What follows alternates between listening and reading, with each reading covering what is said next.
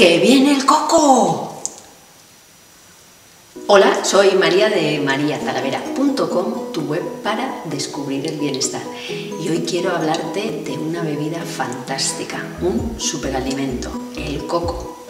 Ahora que aprieta el calor en estas latitudes, en el cono norte, quiero hablarte del agua de coco que es muy común beberla en aquellos países tropicales, pero que ahora está causando furor en países como Estados Unidos.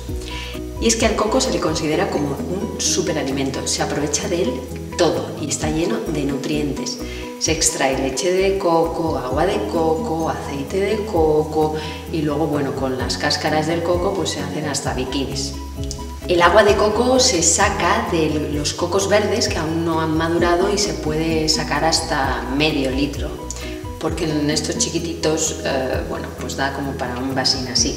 Lo que pasa que es muy difícil encontrar, por, por lo menos en España, esos cocos verdes.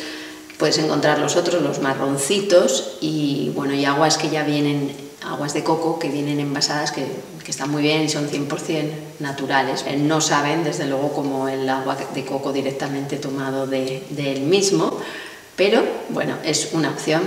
Entonces, ¿por qué es buena el agua de coco? Pues porque está llena de electrolitos y los electrolitos son fundamentales para, muchas funciones del, organismo.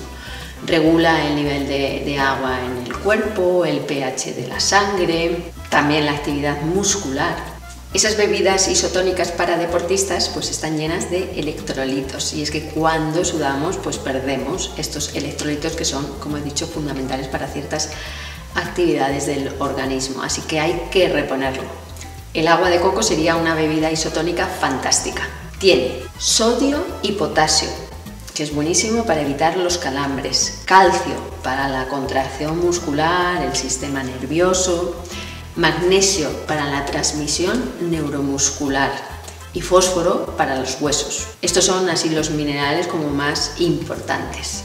Pero además es que el agua de coco es un agua ligera, sin apenas grasas, eh, no tiene colesterol y eh, muy poquita azúcar. Pues eh, de 100 gramos tiene 19 calorías, que esto bueno, no es nada comparado con otros zumos naturales que pueden tener 70 o 80 calorías. Y antes de despedirme me gustaría hacer mención al aceite de coco, que lo he descubierto hace muy poquito y lo uso para todo, desde para la cocina, que es para lo que lo venden básicamente, que bueno, que como aguanta muy bien las temperaturas altas, no se transforma, no se convierte en grasa trans, así que es muy saludable.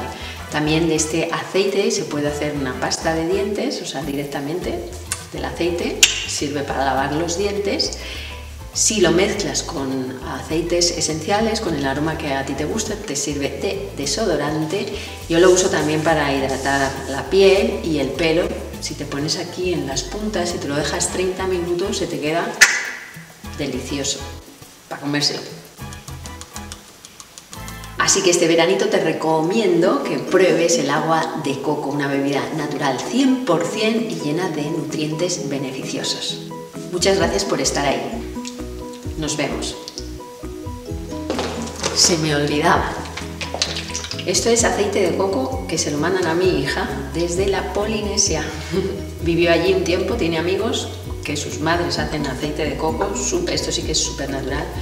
Se ve hasta las eh, fibras así de, la, de la pulpa del coco.